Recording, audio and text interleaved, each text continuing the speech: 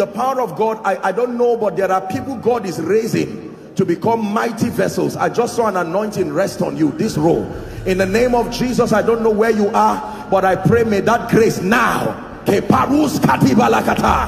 it rest upon you and shift you to a new dimension. In the name of Jesus Christ. Welcome to Christocentric Message. On this channel, you are going to get soul-lifting messages, faith-based content, prayer drills, and videos that would help you grow spiritually. Remember to subscribe to the channel, like the video you are about to watch, and comment on it. Stay blessed. The Holy Spirit is allowed to rest upon our lives, to rest upon our businesses. Mary said, How shall these things be? seeing that I know not a man. And then he said, The power of the highest. How shall it be that in one month I will shift levels in the spirit? How shall it be that by the end of this year I will look at my former self and not recognize it again? it says the power of the highest shall rest upon you. So we're not here just for information alone. Elihu said there is a spirit in man. 32 and verse 8 of job. It says the breath the breath can make men any man man of god businessman politician, any man of understanding. So, whilst you're standing here, it is important for you to know that you are not standing just for others. You are standing believing that, Lord, you are able to shift, you are able to change. I am convinced that meetings are a total waste of time if the people do not change. Notably, notably I made a vow with God that if I have to meet you twice to be blessed I don't deserve to meet you I should never meet a man twice to be blessed so you are here in this place and you are under a very intense anointing of the spirit It is that grace that quickens. It is that grace that makes alive. Listen, it is that grace that takes the veil from off your eyes. There is a realm where both the learned and the unlearned will have to depend on the Holy Spirit. Isaiah 29 verse 11. Please give it to us.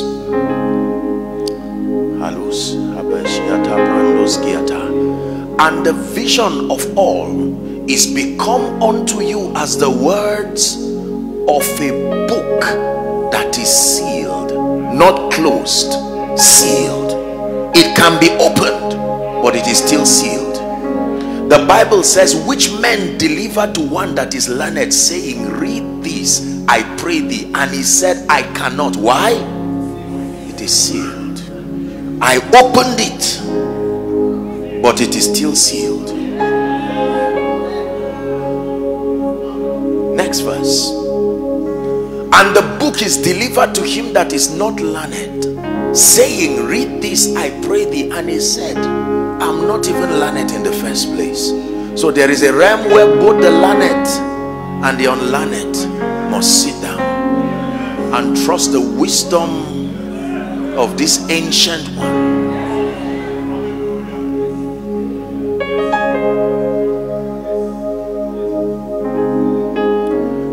Spirit of the living God, again we are here this morning. I pray that our eyes be open. Light of the world, you step down to my darkness. Open my eyes let me see. That's the prayer. Start it again. You're the light of the world. You've stepped down into darkness. Pray now. Open my eyes. Let me see. One more time, please sing with me. You're the light of the world. Step down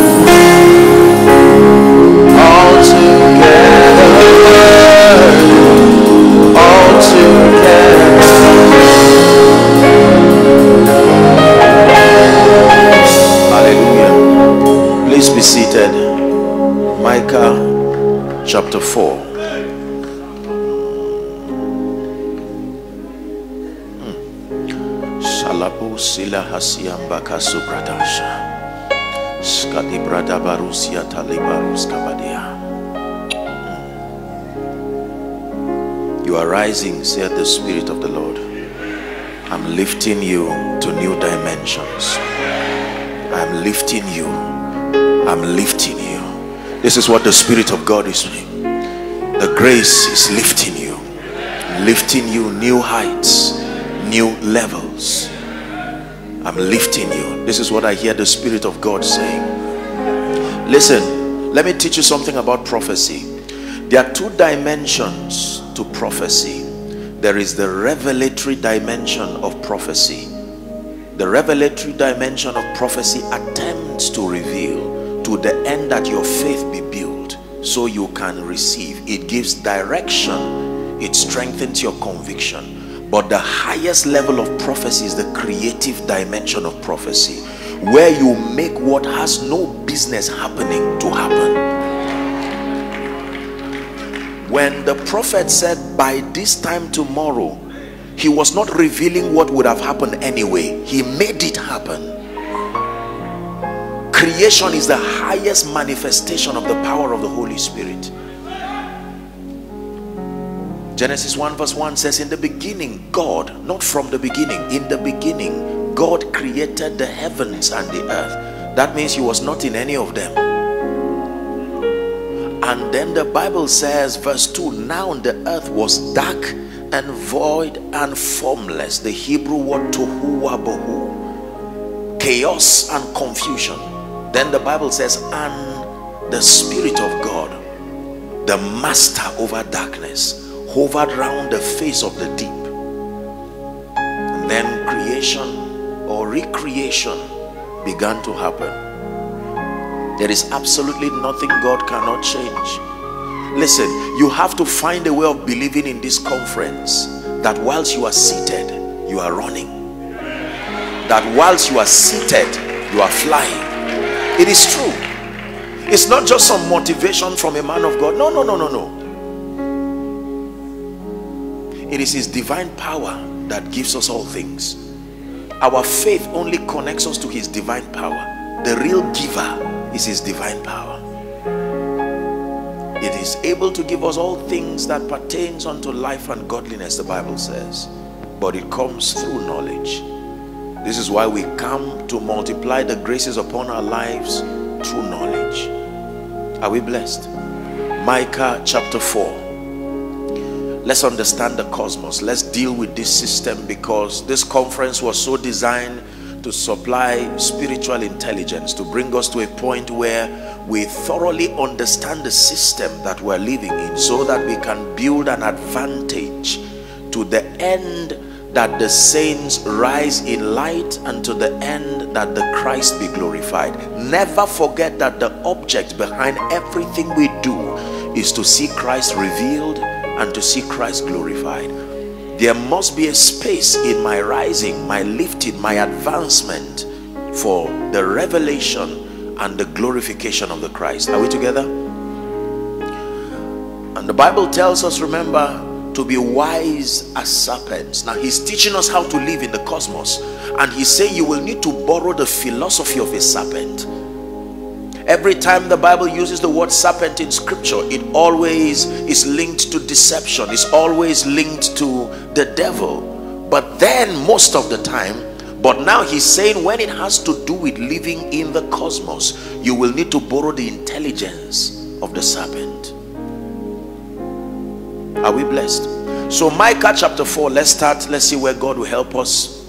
It says, But in the last days, Prophet Micah is speaking, it shall come to pass that the house of the Lord, the house of the Lord, shall be established in the top of the mountains, and it shall be exalted above the hills and people, although it is upwards, will flow to it. This is a very, very serious description. Now, the Bible says, listen, mountains in scripture generally talk about spheres of influence, they talk about systems and structures. Are we together now?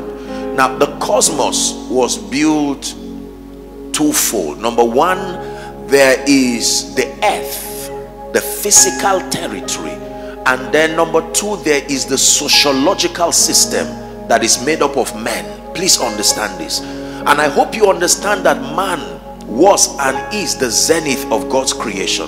The apex of his artistry the object of his his creativity is man and the story of man is a long story. I cannot begin to start it here. We'll spend the whole day discussing the story because most men do not know that they are in the middle of an ancient story. It says there was war in heaven. Are we together now? John the Revelator by the Spirit caught in the Isle of Patmos he began to document the things that he was seeing and he said once upon a time there was an old story in the heavenlies that there was war. One who the bible identifies as satan. Once upon a time the son of the morning. And then the bible says that there was war even in heaven and that he attempted treason. Satan did not want to dethrone god he wanted to run a parallel government so that you could choose god or him. It is still his system today. Everywhere he sees God he comes as the other option. He doesn't necessarily want to replace. He wants to be an equal option. You have to understand this. Hmm. Are we together? And so the Bible says because if you do not understand man then you will not understand the cosmos and dominion will be impossible you see this conference is is is is really a very strategic teaching I'm, I'm just trying to create the foundation for us to understand the prophecy of Micah and then deal with a few things. And so the Bible tells us that there was rebellion in heaven and Satan was judged. He contended with Archangel Michael and he could not prevail and a space was no longer found for him. Are we together now? And then he was cast to the earth. And there was a lamentation. First there was joy in heaven but there was a lamentation. Woe to the inhabitants of the earth. That satan that old serpent. So he's not young. Anything old must be respected. Old money old ideas old enemies anything old has the advantage of experience. Listen carefully. We're dealing with the cosmos here. It's not to put fear. It's just it's just an information that he's called an old serpent. He's been cast to the earth. So he's lamenting and saying hey earth. Beware. This guy is a master of treason and he's come within your domain the next time we hear about that old serpent he found his way through the system of earth to sit upon this mountain. He was cast from earth as a failure, but he utilized his experience to collect the keys of dominion from Adam and now began to build a system reflecting him. Remember, earth was warned. They said, Beware of this guy, he's dangerous. And the earth neglected that warning. And by the time Jesus comes, Satan says, I have the keys. Look at the glory of the world. Whoever can fish himself through a system and become king, there is a strategy there we must learn. Are you getting all that I've been saying? So the Bible says, when you are wise, be wise as serpents. There is a secret of dominion. A serpent has no hands and no legs, yet you run away from it. A serpent may not even run faster than you. Only one point of attack. Yet it is not threatened by any. When a lion eats, you see the evidence. A serpent swallows and the digestion happens inside. There are powerful, you don't see serpents moving in twos.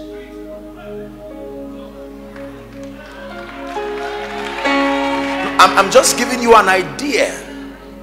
Hmm. Please sit down.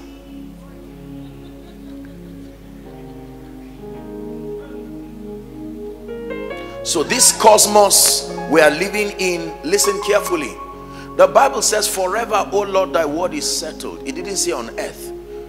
He told you the domain where the word of God has entered its Sabbath heaven. But on earth, there is still a contention. And one day, Revelations 11 and verse 15 will become a reality. That the seventh angel blew his trumpet, and there were voices in heaven saying, The kingdoms of this world are become the kingdoms of our God and of we his Christ. And then the prophecy of Daniel becomes a reality that he will reign forever and ever. It's amazing that the book ends with the beginning of a new dispensation. Are we blessed? But for now, we are mandated, having accepted Christ the advantage of his life in our lives the bible tells us that we must now understand the cosmos that not everybody is born again that not everybody subscribes to your ideologies and that you must sustain the intelligence to be able to live in the cosmos still succeed and glorify the name of the christ are we blessed so this will take a system of mentorship supplying us the various dimensions of information. Micah, in the last days, he's giving you an information that it shall come to pass that the house of the Lord shall be established in the top of the mountains and it shall be exalted above the hills and that action will be so attractive the bible says people shall flow to it. Verse 2 it says they shall say unto one another come let us go up to the it started as the house of god the mountain of god. Now it says the house of the god of jacob and he will teach us. This will be the advantage of that mountain. They are privy to information that make for dominion come and show us the secrets. He will teach us his ways and we will walk in his path. For the law shall go forth from zion and the word of the lord from jerusalem. Isaiah chapter 60 and verse 1 prophet isaiah is buttressing on these revelations. Verse 1 he starts by saying arise. Isaiah 60 and verse 1 he says shine and he tells you why. He says for thy light is come. Not your light is around. Just like faith light cometh it can come to you. The light has always been there but until it comes to you you cannot arise. You don't arise because you are tired of sitting.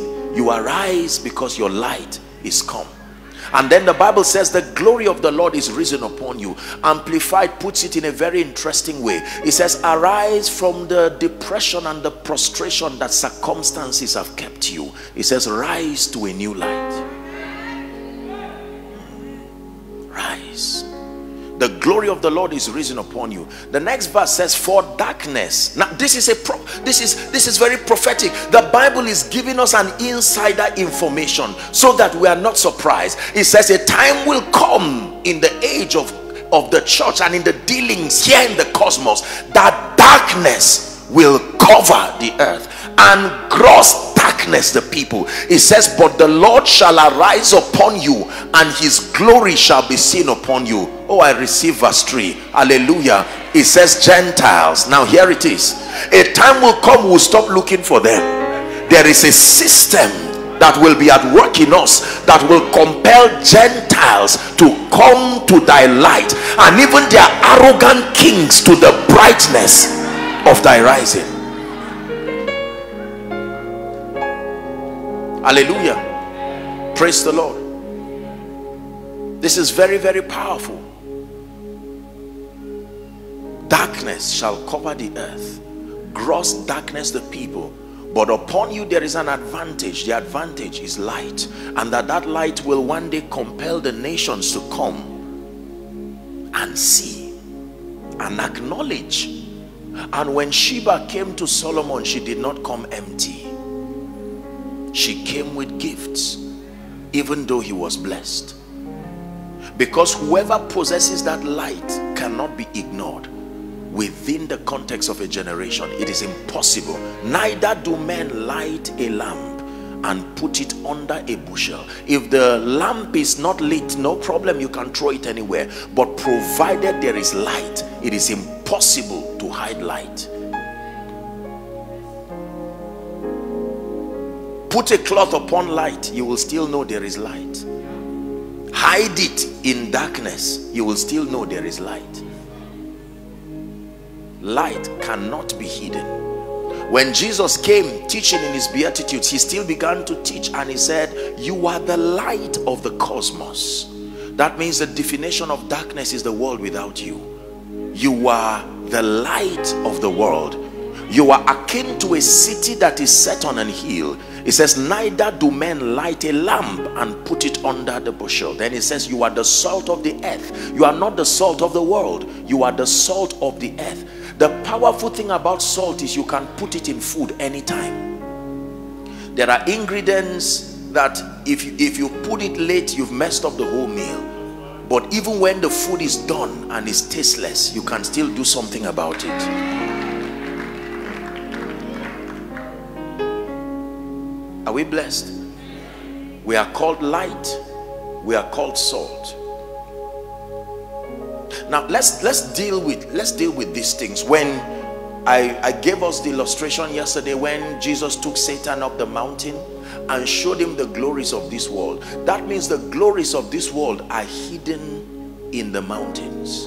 Are we together now? Let me begin to deal with Micah's prophecy. There is a location where you find the glories of the world the word glory is the Hebrew word um, kabod. Am I right? The Greek is doxa. And the original expression is the weightiness of a thing. Is an attempt to measure the worth of a thing.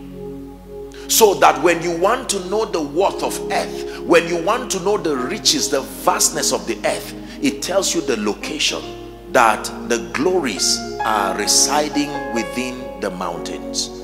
Are we together now? The glory, the riches, the influence. Now, let me say one more thing before I begin to teach. The gospel, please look up. The Bible ties what we know to be the coming, the end of the age, you know, rumors of wars and so on and so forth.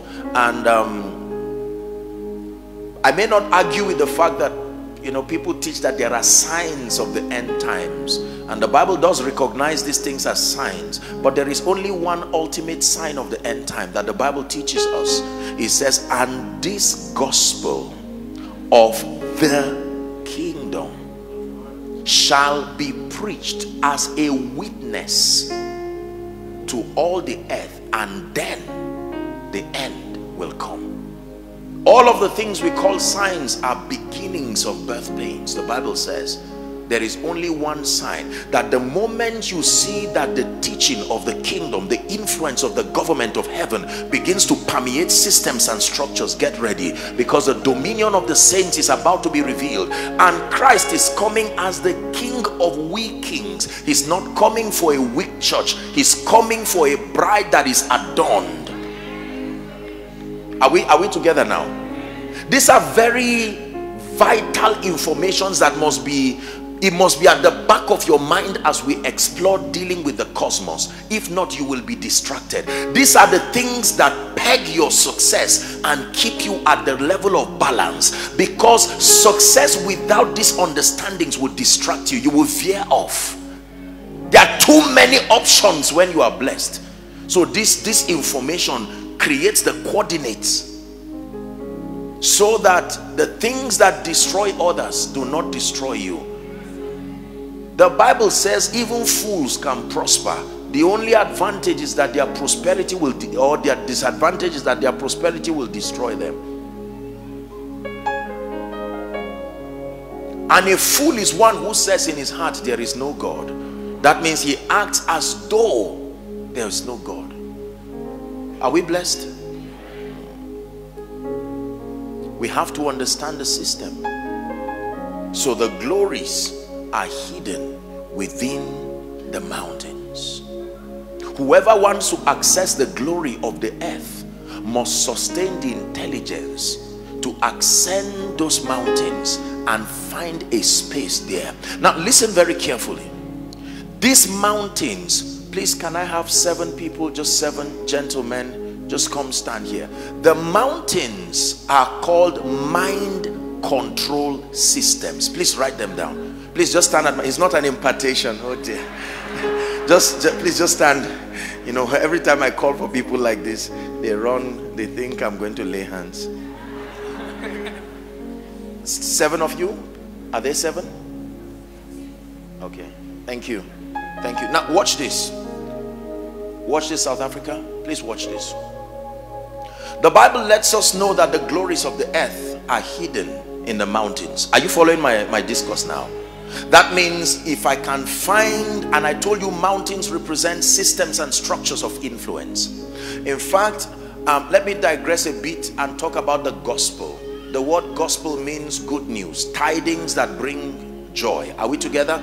Now, the Bible teaches us that there are two dimensions to the gospel. Please say two dimensions. One more time, say two dimensions.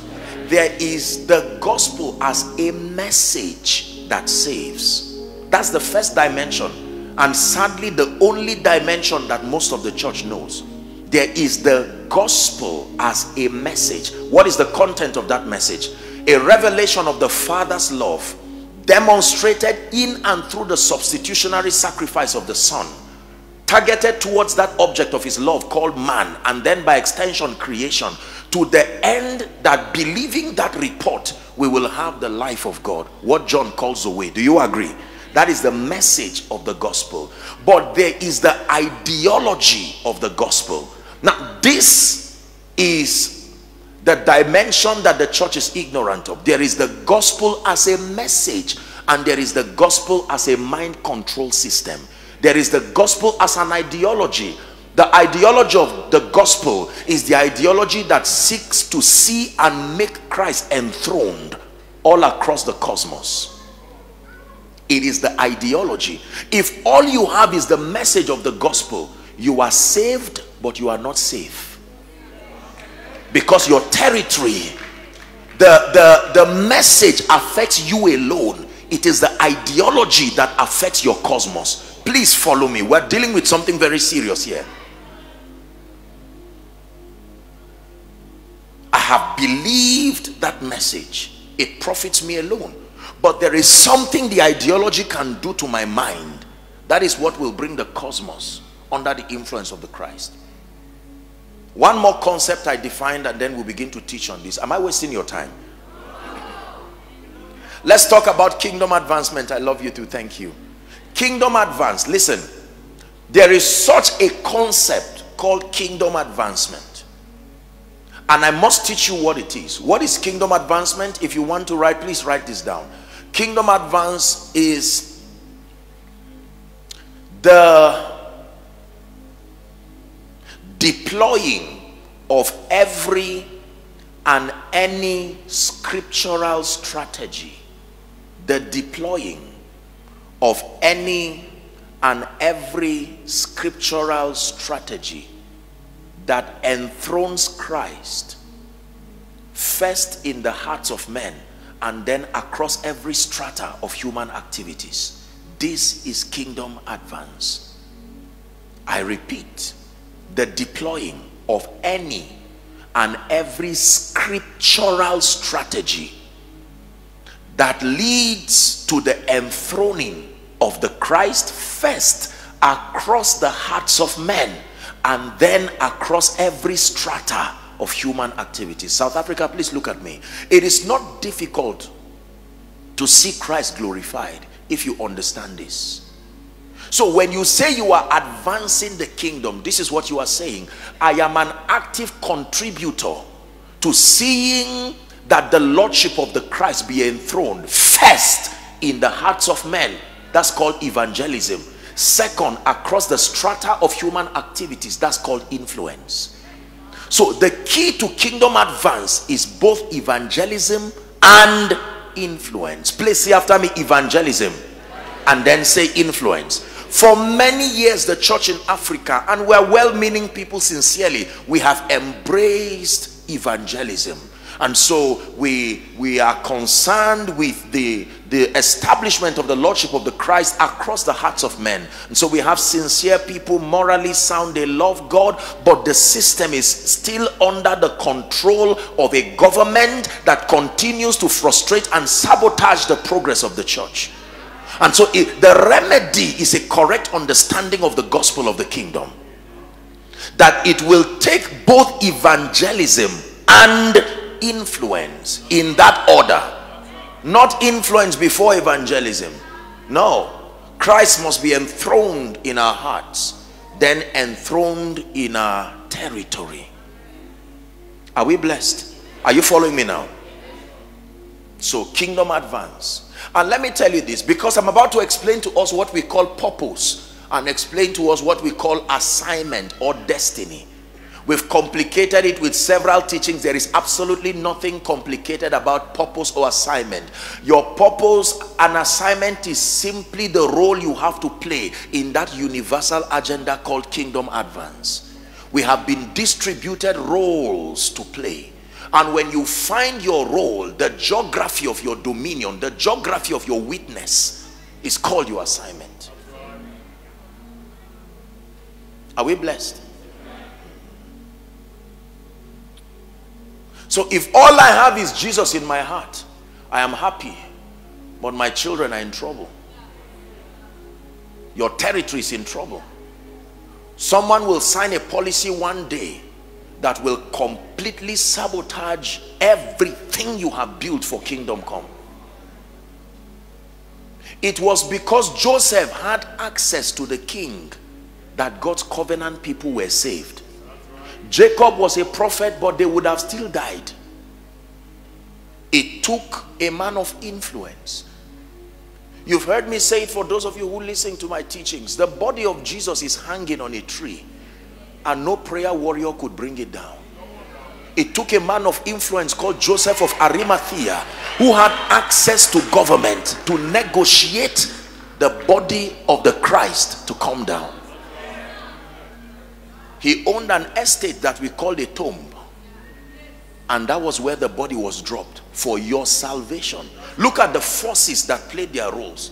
Don't just look at the cross alone. The grave too played a role. The tomb played a role Otherwise, we will not be able to say, Oh, death, where is your sting? Oh, grave, where is your victory?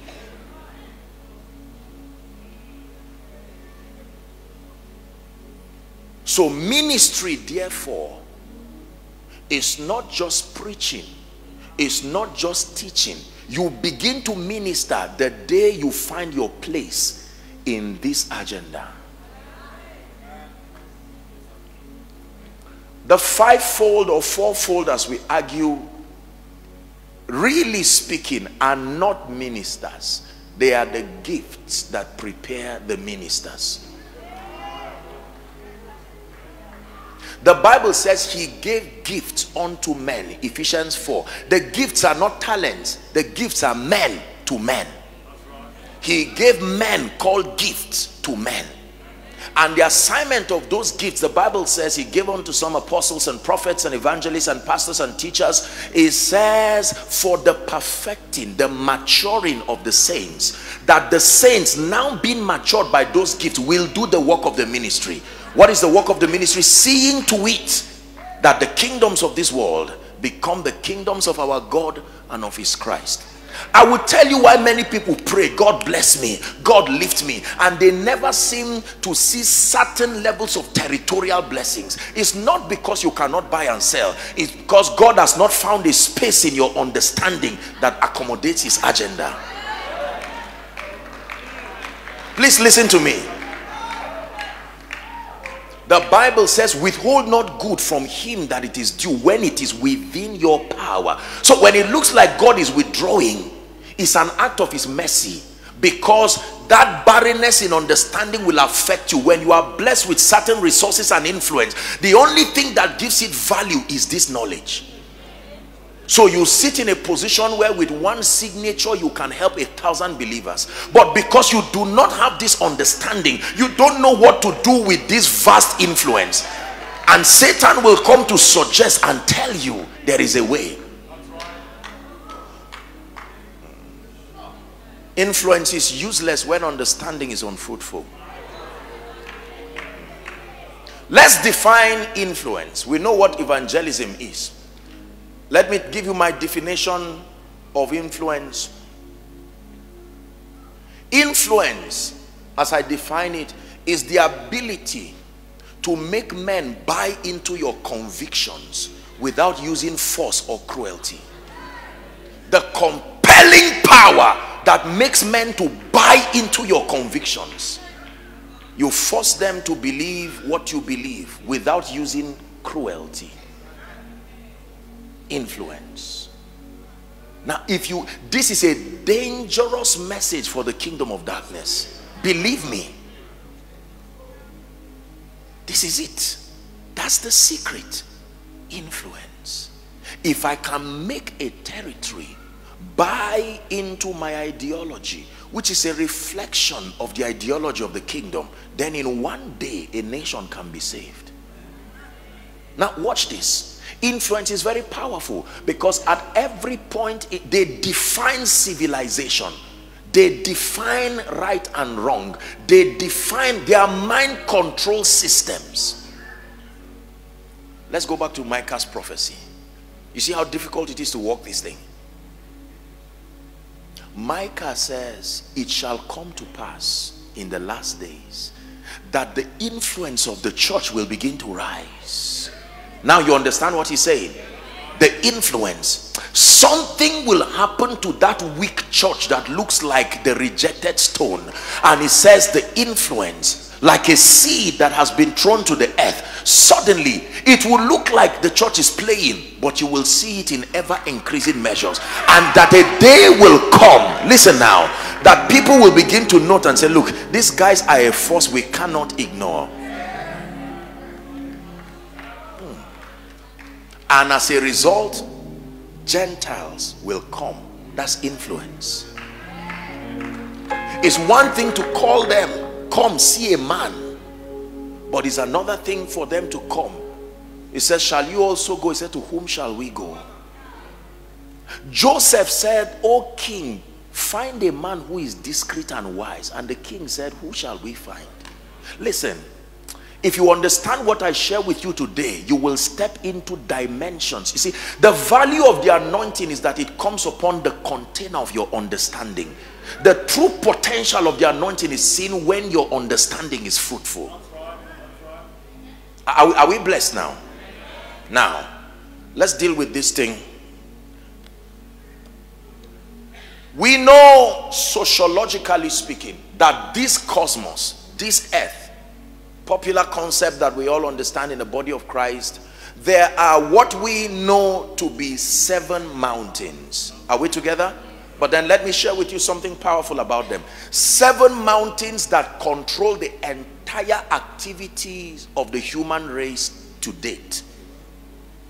The entire earth, in terms of influence, can be broken into seven mountains.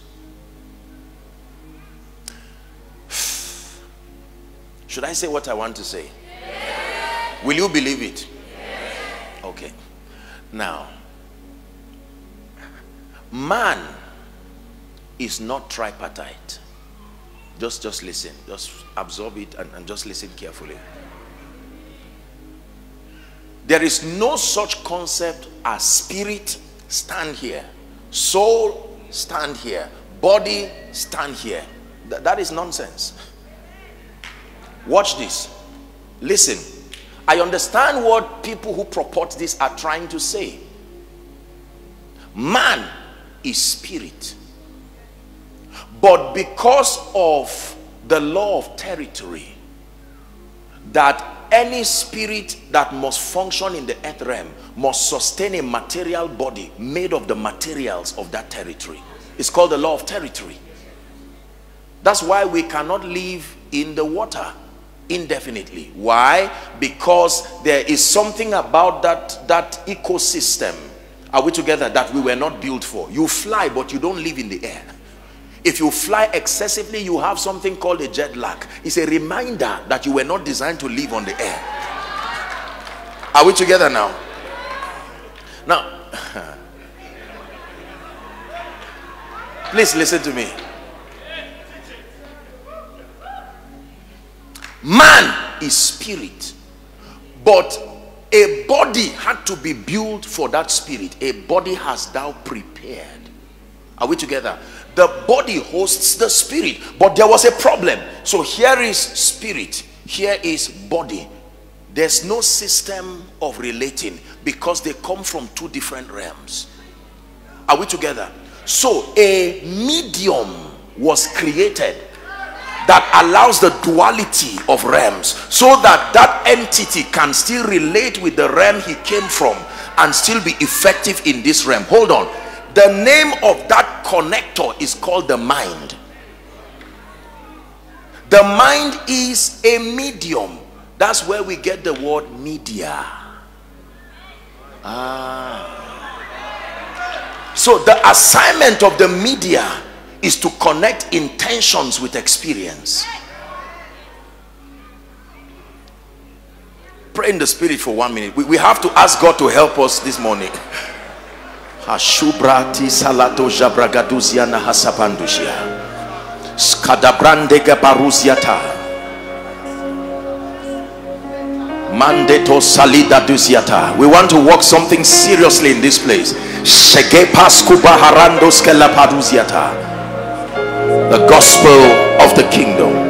Hallelujah. Please sit down. Now, so you understand my teaching.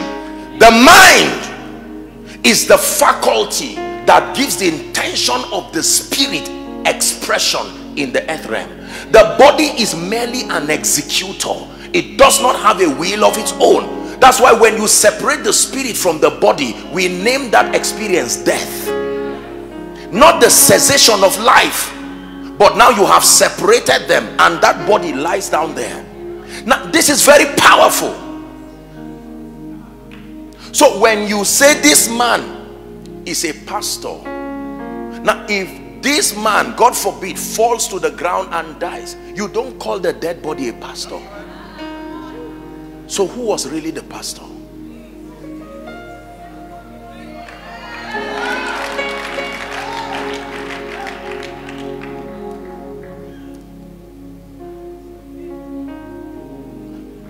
are we together? Our society is shaped by these spheres of influence. Seven of them. Let me name them quickly. We have to save time. Please write. This is very important. Number one there are concepts that are popular so i will use them and just just just walk around them. The first sphere of influence call them mountains now. It's called the mountain of religion. Write it down please this is the sphere that decides the spiritual conviction of a people within a territory that means that any territory you can know the quality of what is happening in this mountain by the spiritual convictions of the people within a territory. If there is a prevalent error within a territory, this is the mountain to blame. Someone is not doing his job well and is, is by so doing altering the convictions of the people wrongly. Are we together? So when God calls you as a man of God, this is the geography of your witness. Religion. Are we blessed? Let me tell you this. Watch this. Everybody believes in something. Don't mind the ignorance of people when they say, I don't believe in anything. Not, not believing in anything means you believe in yourself. Nebuchadnezzar put an idol of himself. So he believed in himself. When you believe in yourself as, as against believing in God, is still idolatry. You should believe in yourself when you are motivating people, but you can build an image of yourself and worship it. You are still an idol worshiper. It's just that you are worshiping yourself. Are we blessed? The mountain of religion. Watch this. If God is going to invade a land and birth dimensions of his grace and glory, this is where he will come from when he was about to come to the earth he went to the priest Zechariah he didn't go to the scribes he didn't go to the learned people he went here and said Zechariah something is about to happen. John is coming. He will have to forerun the coming of jesus. John wanted to mess him up zechariah and he shut his mouth. Zechariah became deaf and dumb not because god hated him. He wanted to use priesthood to abort destiny. And god said no we have to do something. This man has an, an anointing upon him. And if he speaks he will affect the climate. He has dominion over the cosmos. Remember zechariah was the priest that was in charge of priesthood for that year so heaven recognized that office. There was a throne that backed that office. And God said, let's help men by shutting this man's mouth. So sometimes shutting your mouth is not wickedness. Is to be sure that what you are saying is right. God may temporarily withdraw your influence and vet what you are about to communicate. The content of your message when he finds it right the two leaf gates are open for you. Then the nations can now hear you. Are we blessed? Religion. Number two the mountain of family. This is a very serious mountain. Every armed robber comes from a home. Hello?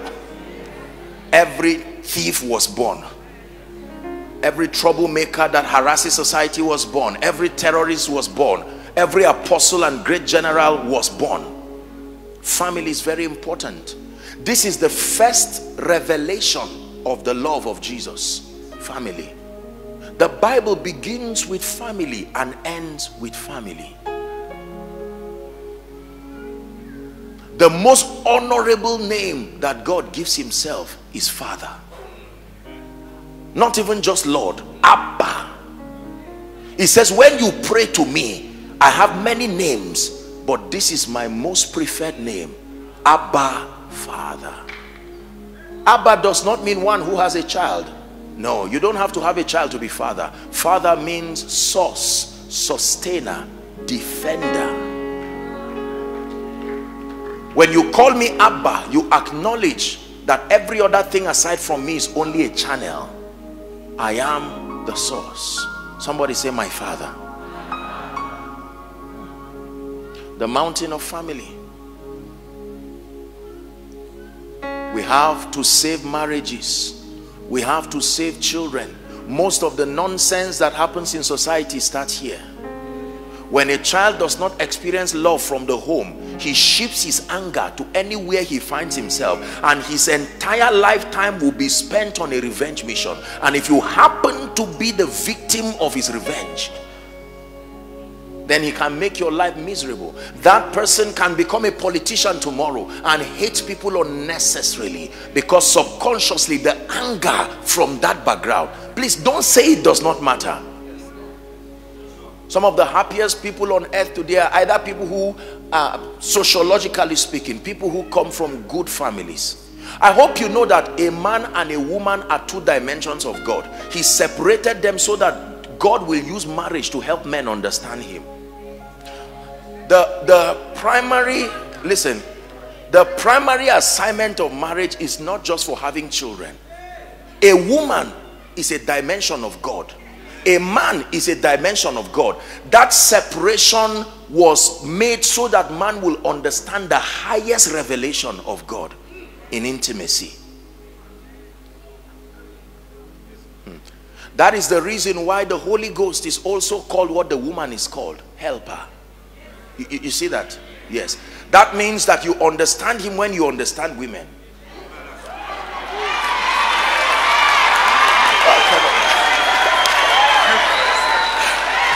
Hallelujah. Please sit, please sit, please sit.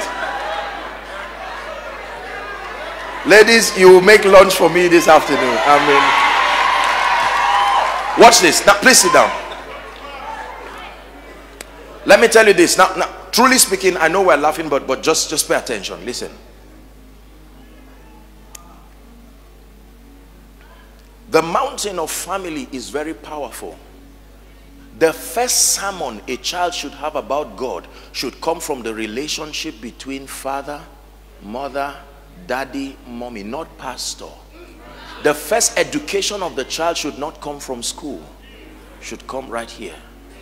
And the way the Bible says is to train up a child. Hold on. How does a train move? Hold me. Do as I do. Don't just listen to me. This is how children are trained. Don't, don't, don't ask me to go and buy you cigarette and when I bring it, you now tell me if I catch you smoking, I will kill you. No, no, no. Children are not good listeners, but they are good imitators. Let me teach you how to train your child. You are saying, son, I want to show you about kingdom finances. This is my own money this is your own right? This you're teaching your child now. And you're saying now watch me. Father thank you. One day that child will kneel down with you.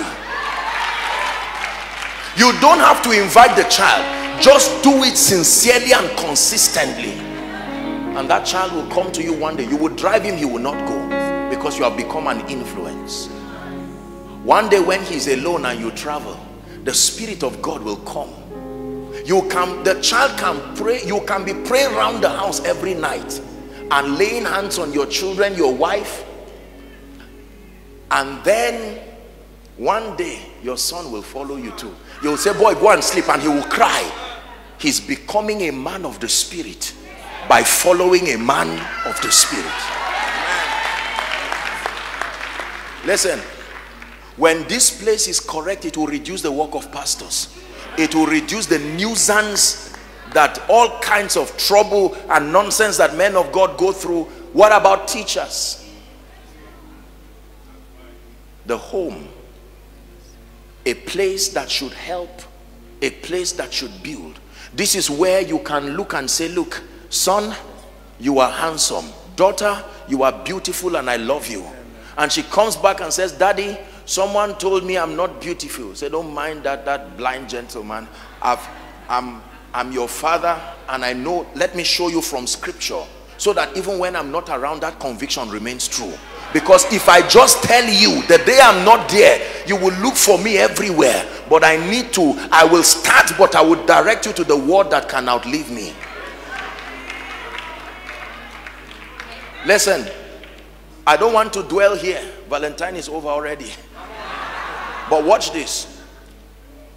Every man is threefold when you are speaking about family. Every man is a husband, defines his relationship exclusively to his wife. Every man is father, defines the jurisdiction of his responsibility. Every man is priest. When you find a man that is not these three things, run away. There's no need saying, God, is he your will? Run, I'm answering you now. Run fast. You don't have to be father when you have children. The apex of fatherhood is responsibility. Then every woman is a wife. A wife is not one who is married. Bible says he that finds a wife, meaning she has to be a wife before she's found.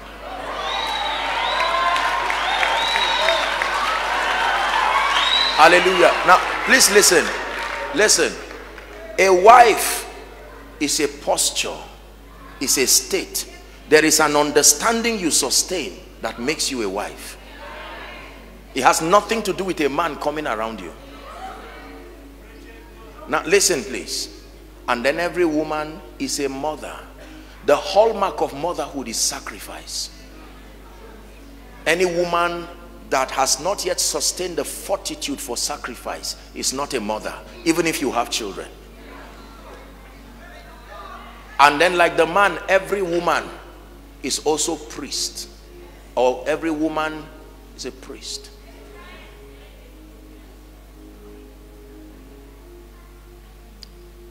When a Proverbs 31 woman meets with a Job 29 man, they will make a Psalm 112 home.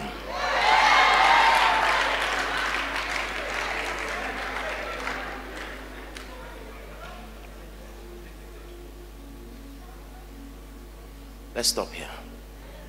Family. Everybody say family. Number three.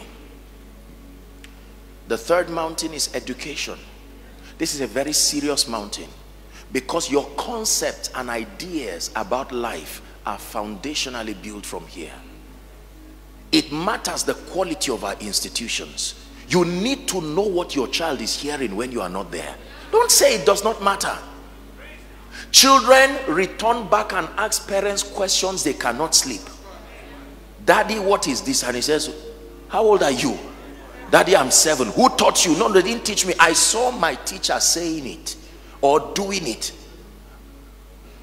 We must trust God for the grace and the resources to build schools that are run by the value system of the kingdom. Before the school resumes, the teachers do a vigil. Shalika. They lay hands on the report cards of the children. This is what we are talking about. That while the teacher is teaching, suddenly there is a student with all kinds of oppressions coming from a family. And the teacher does not say you are lazy and dull because the teacher is also a priest. And the teacher says young lady see me in my office. I have noticed you don't do well. And she says it's not my fault. And says, Let me show you how it works in the kingdom. There is a spirit in man.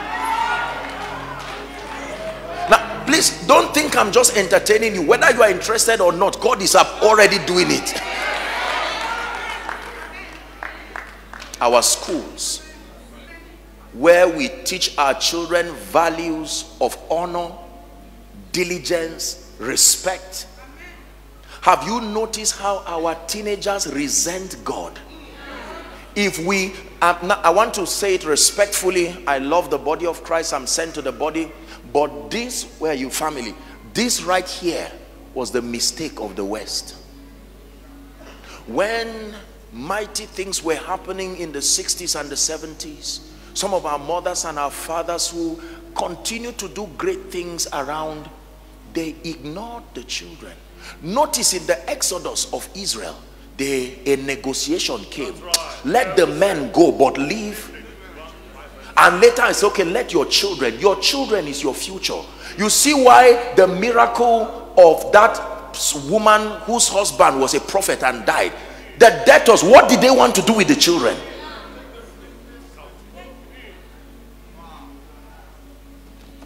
You are not successful if you are the only one who is successful until your children reflect your values you have failed believe me when i tell you this our teenagers. You off the television they switch it on.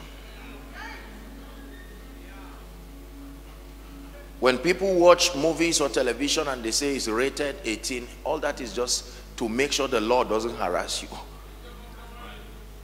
But most people know where to find everything.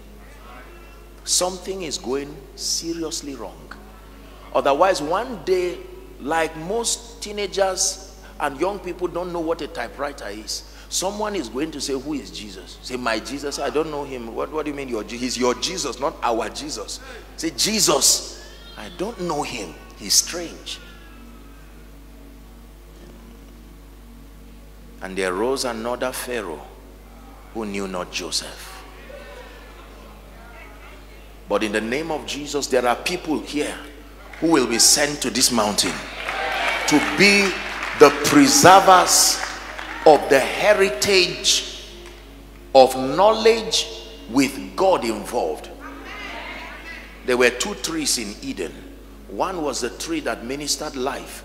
The other was the tree of the knowledge of good and evil. That's the Babylonian system. One of the most painful thing for a parent is that after laboring for years, you watch your child become a complete opposite of your ideology. When you say Jesus, he says nonsense. When you say moral excellence, he says rubbish. When you say responsibility, he says, what does that mean? We will lose a generation if we ignore education. There are people today who can, I know it happens a lot in Africa. People just buy results. People just buy all kinds of things and they have absolutely nothing to deliver. They bribe their way from high school, primary school, we call it, college, and all through, and there is absolutely nothing to deliver. This is a mountain. I'm showing you so that I will verify what you saw in your dream. The unusual passion for education is not carnality because we think spirituality is when you become a man of God on the pulpit. I'm showing you now that this is also a minister.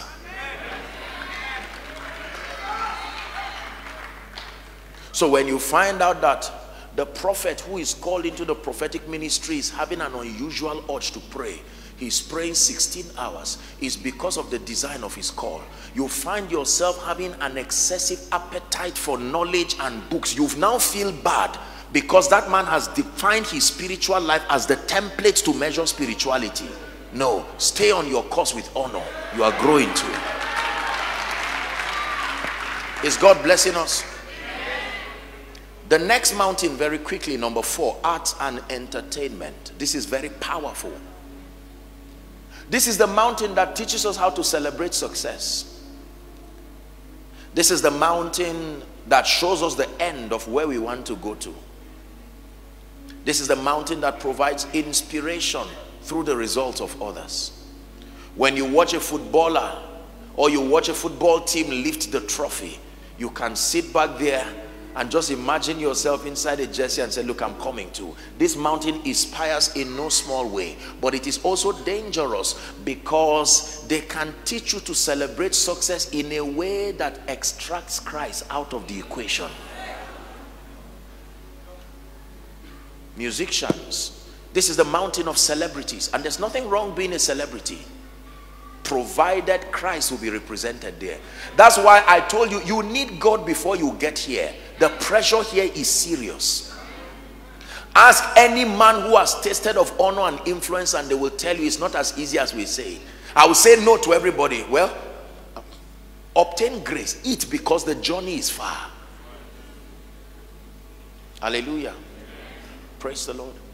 Imagine if Michael Jackson ever said Jesus. He will save more souls than many crusades combined.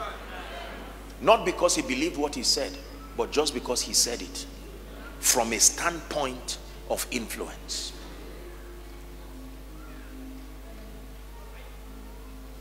You see the reason why every time Jesus met celebrities, he did not ignore them. He knew they had power. He knew they had influence. Influence right here is powerful. This is a place that shows you the, the excellency of being valuable. This is where value is celebrated. If you are not valuable, this is the schoolmaster that will teach you a lesson. This is where the spotlight resides. It will inspire you to be creative. It will inspire you to be valuable. And let me tell you, there are people, Your assignment requires you being a celebrity. It is not from a carnal standpoint. So while you are becoming that award winning TV hostess and that musician, people think you are just, no, you are still a priest in disguise. It's like a terrorist group. You are a doctor, but you are a terrorist. You are a celebrity, but at the back of it, you are a dangerous prophet. So people just know that you are the TV hostess and people love you. You are piling awards. And when the kings come to your house and say, How do you do it? You look at them and you tell them, Listen, a man can receive nothing. Do you think they will listen to you? Absolutely, they will. If results were cheap, everyone will have it. Results are loudspeakers. Is God helping us? I have to rush. So you must trust God. And we're going to pray, and in this conference, there will be graces released upon people. Listen, I made up my mind that I would never lead a people who are just spiritual alone. There must be people who, by the grace of God, will be gatekeepers of strategic spaces of influence. Right here. The next mountain this one is one that you should respect. It's called the mountain of media. Comes from the word medium. They are real mediators. They create imagery. They define your convictions. You only know what you are told. Genesis 3. And the Lord had the, the Bible says, and Adam had the voice of God walking in the cool of the day. And when he met Adam, look at me, he said, Adam, where art thou? And Adam said, I heard your voice and I hid because I was naked. Next question, who told you? Have you have outsourced an information from a media that is not me. The media is powerful. Where is media? You? mind control systems that's why advertisement they spend billions of dollars please talk to me. Your business people many of you the advertising industry for two minutes during olympic or world cup or any of the football international football or whatever it is for two minutes people pay millions of dollars. Do you know why? Because the media someone may want you to now begin to buy this water and then they call a celebrity to drink it. And then he drinks it in a way and manner that makes you hate the one you now have in your fridge now you don't know that that hatred has been planted till you go to drink it you look at it and say no no i shouldn't i media there is something they can do to God here that will make you hate God. There is something they can do to church here that will make you hate church. There is something they can tell you from here that will make you hate the Bible. It is within their power to paint any picture. The media is powerful. The media can make you in five minutes to hate your wife by telling you a story and it will paint it in a way these people are masters of psychology you look at your wife and say from today we don't stay in the same room again say well, honey we've been married for 20 years but someone can hijack this media and make a man who was about to run away from his wife come back and say honey you know what? After 20 years it still looks like yesterday. The media mind control systems. Hmm. please understand what i tell you africa. This is what has destroyed us. Somebody told us something that we are weak. Somebody told us something that we are not strong. Somebody told us something. Now, I love the body of Christ, but listen to what I tell you. Be careful what you hear.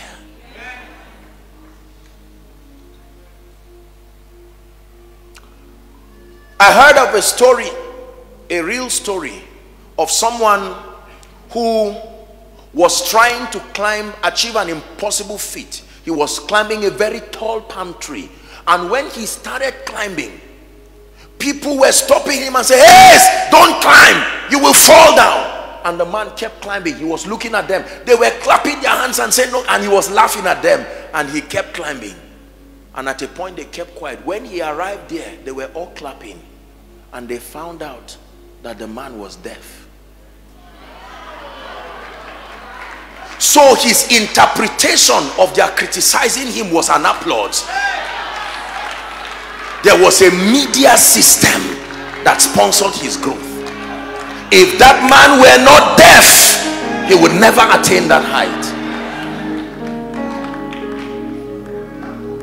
Someone told you you are not beautiful, that you will need to turn stones to be bread to be approved.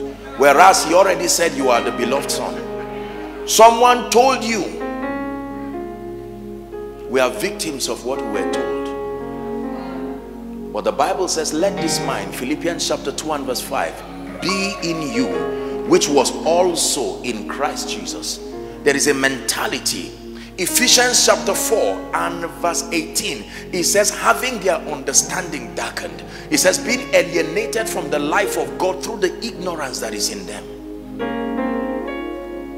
When God wants to save a man, he will introduce you to media the greatest this. A compendium of the thoughts of God. We call it the word of God the logos of God. Please look at me. He says and that from a child thou hast known the holy scripture that is able to make you wise even unto salvation. This is it. I found your word and I did eat it. It became a joy and a rejoicing. This is the media that changed my life. Vetoed my background. Hmm. I guarantee you, expose yourself to this. My son, he says, pay attention to my words. Incline your ears to my sayings. Do not let them depart from your mouth. Keep them in the midst of your heart. He says they are life, not to everybody, to those who find them and health to their flesh. When God wants to motivate you, he will bring a screen before you. You can call it a vision. You can call it a dream. He shows you tomorrow while you are not yet there. So that all the vicissitudes of life that frustrate you in your today, suddenly there is a media that flashes you. Joseph, do not mind the pit. It is the throne you saw. When Joseph was in the pit, even in the pit he remembered i saw the sun i saw the moon. I saw 11 stars. Capacity.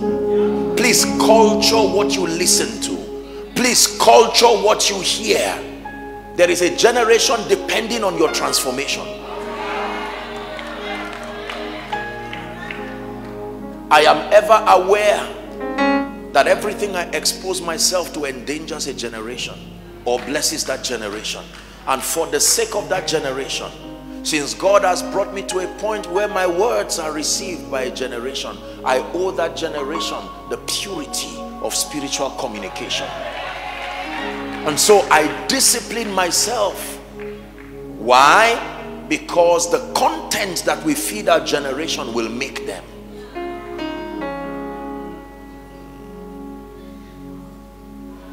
Do you like what I'm teaching? Isn't it amazing that we've not even talked about money? And yet this is how to be rich. You make money off understanding.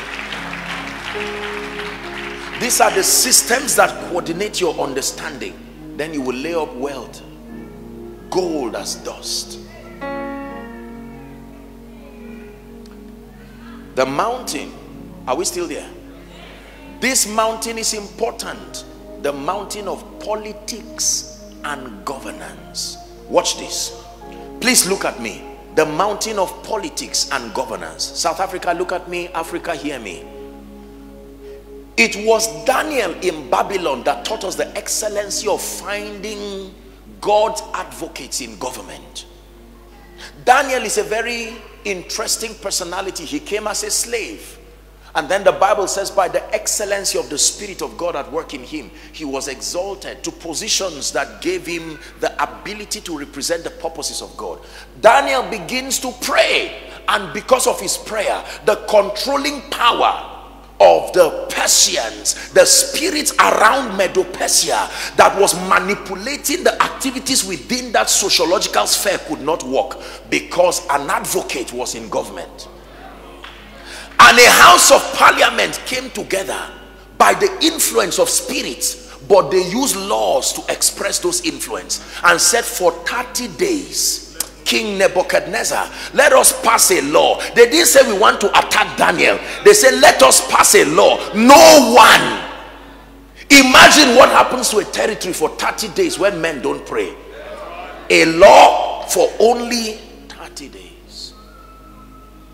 and they came to catch Daniel and could not find anything at all except as touching the matter of his God. Now watch this. Daniel opened the gate and continued to pray as his custom was. And the Bible says one time they came and caught him. When they caught Daniel, now Daniel is supposed to be in trouble. Hallelujah. And because of the excellent spirit, even the king was touched. Daniel, why did you do this? You would have just obeyed the law. They throw Daniel the lion's den. And Daniel shows them, I'm not only a member of parliament. There is something about me you do not know. You threw a member of parliament, but now watch a kingdom citizen. Hmm. Many people focus on the lion. They forget Daniel. He was not passing any law there. He was showing them the excellency of the graces that were upon him hey when i wear that suit do not make a mistake i'm not only passing laws. I am an advocate. I stand to promote the interests of a government. And let me speak to someone here. May the grace that makes for government rest upon you in the name of Jesus Christ. I'm prophesying to people here who have had dreams. You know you are to be in the parliament in South Africa. Don't let no man keep you down. It may take time, but climb that ladder with grace and intelligence. And you sit there and represent the interest of the Christ. Listen now.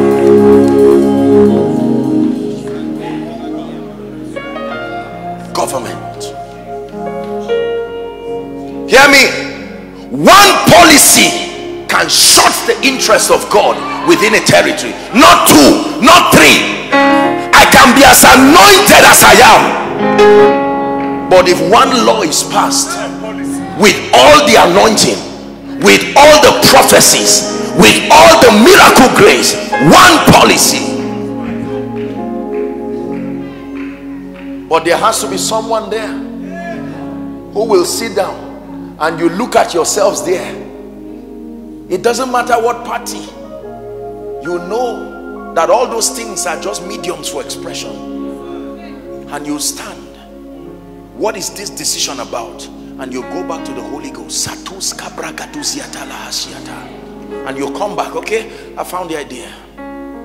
Do A B C and heaven says thank you. You have preserved the next 30 years of South Africa just by being a correct parliamentarian. Please pay attention to government. It matters. Christ must be represented here. This is where Jezebel sits. When Jezebel comes she wants government.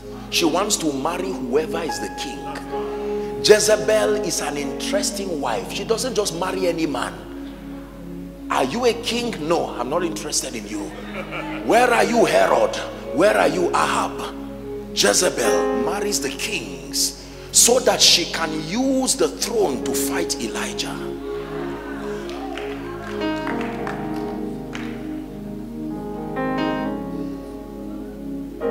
Dearly beloved, I hope you were blessed by this message. Do not keep the video to yourself. Share to as many as you can to help them bless. Check our homepage for more of our messages. Subscribe to the channel, comment on it, like it. See you on our next video. Bye. Pray pray pray for your destiny